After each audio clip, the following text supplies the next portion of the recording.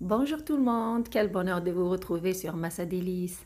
Aujourd'hui, je vous propose un gratin de pommes de terre, épinards et champignons sans viande, très savoureux.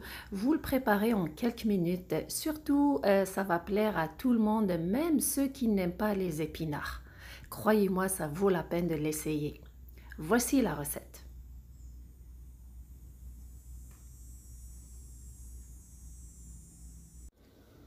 Premièrement, j'ai pris une poêle euh, dans laquelle j'ai mis environ 3 cuillères à soupe d'huile végétale. Je l'ai mis sur un feu moyen. J'ai ici avec moi deux oignons moyens que j'ai coupés euh, en lamelles. Je les fais revenir dans la poêle pour quelques minutes. Voilà, et euh, à propos, je vais parler des ingrédients au fur et à mesure que je prépare la recette.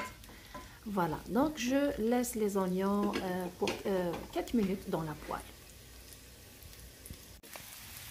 Après environ 2 minutes, mes oignons sont ramollis euh, et ils ont pris un petit peu de couleur. C'est le moment d'ajouter mes pommes de terre. J'ai avec moi environ 7 pommes de terre moyennes que j'ai épluchées, rincées, puis coupées en rondelles, comme vous voyez sur l'image. Je les mélange avec l'oignon le but, c'est de ne pas les faire cuire, mais c'est juste de les mélanger avec l'oignon et euh, les épices que voici. J'ai le sel, une cuillère à thé de curcuma, de cumin et de coriandre moulu que je mélange avec les pommes de terre et l'oignon. Et j'ajoute aussi environ deux branches de thym qui est un bon parfum pour ce gratin. Croyez-moi, ça rajoute un très bon goût à ce euh, gratin. Alors, avant d'ajouter mon pain, je mélange bien les épices avec les pommes de terre et l'oignon. C'est très important de faire ça. Une fois que c'est fait, j'ajoute mon pain et je le laisse euh, dans le mélange pour euh, répartir son parfum. Deux minutes après avoir ajouté les pommes de terre et les épices et le thym, euh, je mélange bien. Le but, c'est de ne pas la faire cuire, euh, la pomme de terre, mais de l'imprégner de toutes les saveurs euh, des épices et du thym. Puis, je la verse dans un plat allant au four et je prépare les autres ingrédients. Maintenant, c'est le moment de préparer mes épinards. Donc, j'ai pris deux bottes d'épinards que j'ai bien euh, nettoyées, puis lavées et euh, bien égouttées. C'est très important de débarrasser les épinards de leur eau, donc euh, c'est bien de les éponger avec un essuie-tout. Et je les ai coupés en petits morceaux, comme vous voyez sur l'image. Je vais les faire revenir environ une minute dans la même poêle avec deux cuillères à soupe d'huile végétale bien sûr, toujours sur un feu moyen.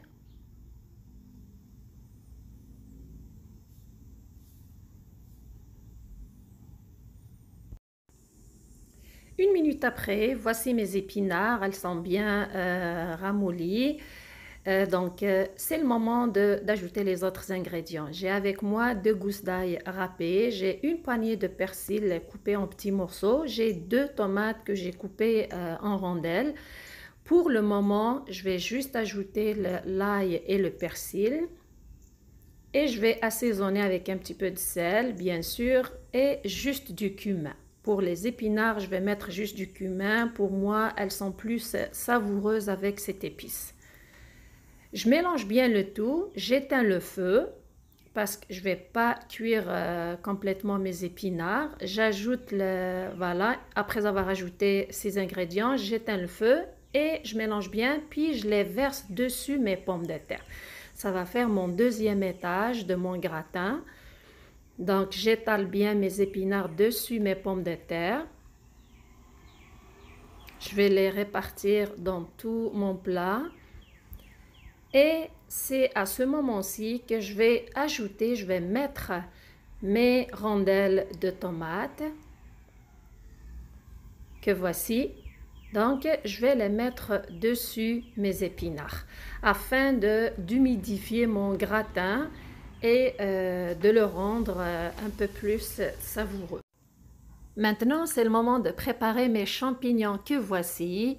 J'ai pris quelques champignons que j'ai rincés, bien épongés avec un essuie-tout, c'est très important de le faire. Et j'ai ici une poêle, la même poêle bien sûr, avec une cuillère à soupe d'huile végétale, toujours sur un feu moyen. Donc j'ai versé mes champignons coupés en petits morceaux. Je vais les faire revenir. Mon but, c'est juste de les saisir pour quelques secondes. Je les ai assaisonnés avec une pincée de poivre noir et du sel, bien sûr. Je mélange bien le tout.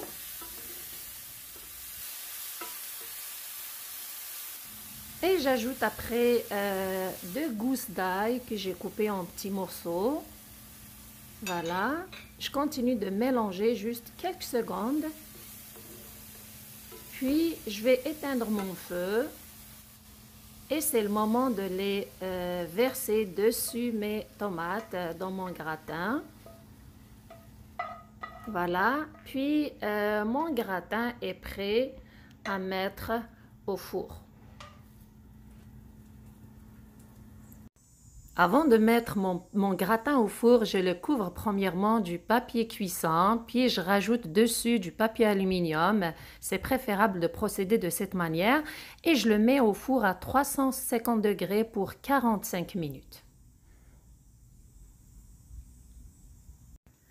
Après 45 minutes de cuisson, euh, pour vérifier si votre gratin est prêt, sortez-le du four, vérifiez avec un couteau, piquez une pomme de terre, donc, moi, c'est ça que j'ai fait. J'ai piqué mes pommes de terre. Elles sont un petit peu dures, euh, pas complètement cuites. Donc, je, suis obligée de remettre mon gratin pour un autre 10 minutes au four.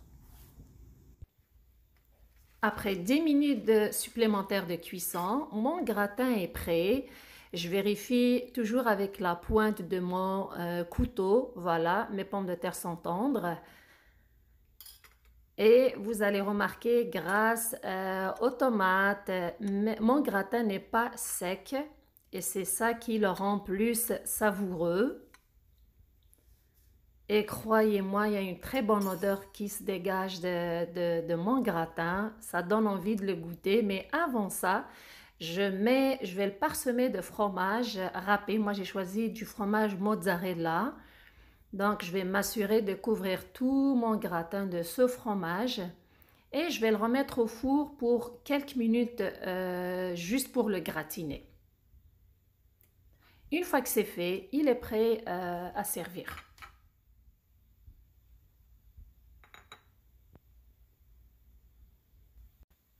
Mon gratin, pommes de terre, épinards et champignons enfin prêt. Il est bien gratiné avec une bonne odeur qui se dégage. Euh, croyez-moi, c'est une bonne recette à essayer, surtout pour ceux qui n'aiment pas les épinards. Euh, je vous la recommande.